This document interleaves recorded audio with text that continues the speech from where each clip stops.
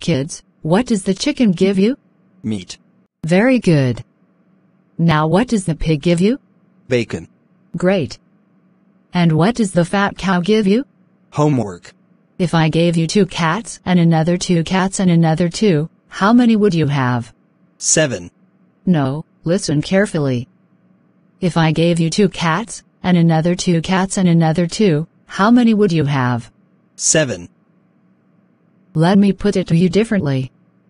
If I gave you two apples, and another two apples and another two, how many would you have? Six. Good. Now if I gave you two cats, and another two cats and another two, how many would you have? Seven.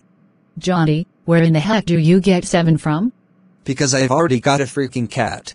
If I have five bottles in one hand and six in the other hand, what do I have? A drinking problem. Which book has helped you the most in your life? My father's checkbook.